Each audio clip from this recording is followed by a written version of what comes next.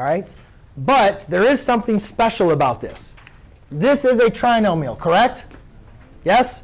And the best thing that I always like to look at, we're, we're going to get into the last one, which isn't one of these problems, but these are what we call special factoring techniques. And the best thing I like want you guys to look at is whenever you have square numbers, numbers that you can take the square root of and get an integer. Is 16 a square number? Yeah. Yeah, so square root of 16 is 4, right? Is x squared a square number?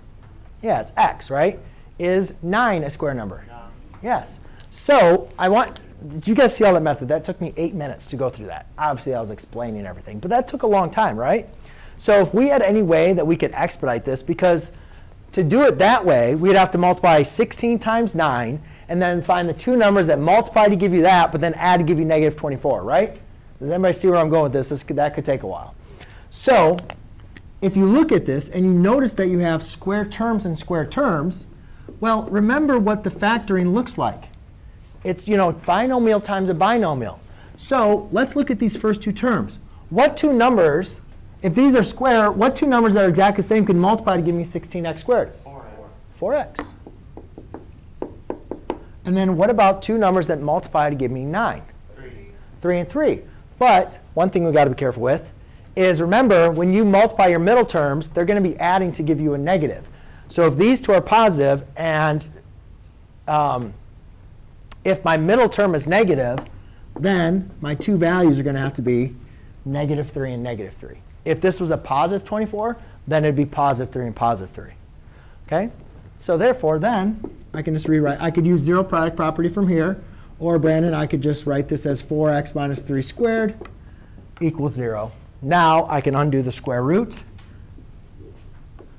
Taking the square root of 0 is not going to do any. That's just going to equal 0.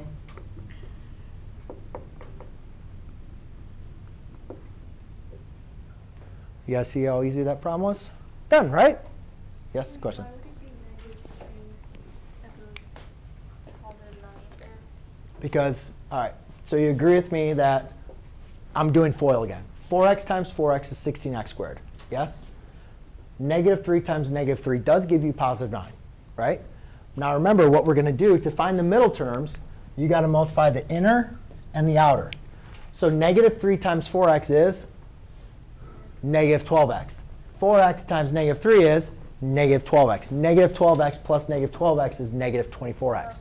Basically, just the, the general rule, if, if the middle term's negative, your two factors are negative. If the middle term's positive, your two factors will be positive of a perfect square trinomial. Does anybody have any questions for this, though?